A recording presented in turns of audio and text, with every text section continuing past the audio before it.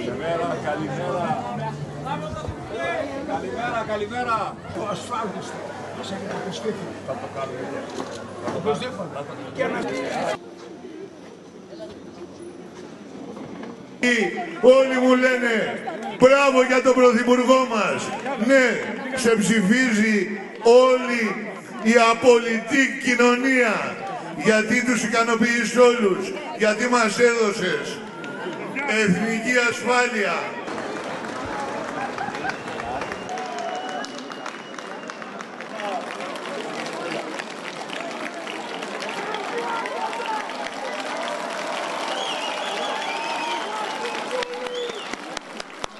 Καλό μήνα, καλό νικηφόρο μήνα για την παράταξή μας στη Νέα Δημοκρατία.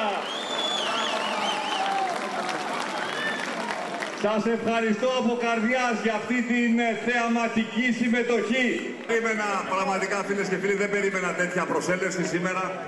Πρωτομαγιά, 20 μέρες πριν από τις εθνικές εκλογές, οι οποίες θα κρίνουν αν η χώρα μας θα συνεχίσει στο δρόμο της προόδου, της προκοπής, της εθνικής αυτοπεποίθησης ή αν θα γυρίσει πίσω σε ένα παρελθόν το οποίο όλες και όλοι θέλουμε να ξεχάσουμε. Τέσσερα χρόνια θυμάστε ότι μας ζητούσαν σε πολλές επιχειρήσεις, ζητούσαμε να τους βρούμε δουλειά και τώρα τόσες επιχειρήσεις ψάχνουν για εργαζόμενους και αυξάνουν τους μισθούς για να μπορέσουν να τους βρουν. Αυτή είναι η μεγάλη επιτυχία της οικονομικής μας πολιτικής.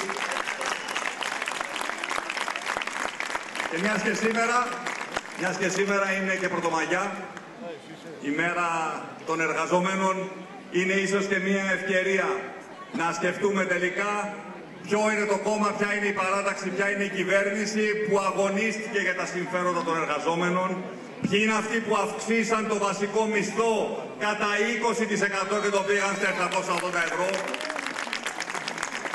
είναι αυτοί που εισήγαγαν την ψηφιακή κάρτα εργασίας για να μπορέσουν όλες οι υπερορίες να καταγράφονται. Ποιοι είναι αυτοί που αύξησαν τις άδειες μητρότητας και πατρότητας για πρώτη φορά. Για πρώτη φορά έχουμε άδεια πατρότητας. Ποιοι είναι αυτοί που ενίσχυσαν τους ελέγχους στην αγορά εργασίας.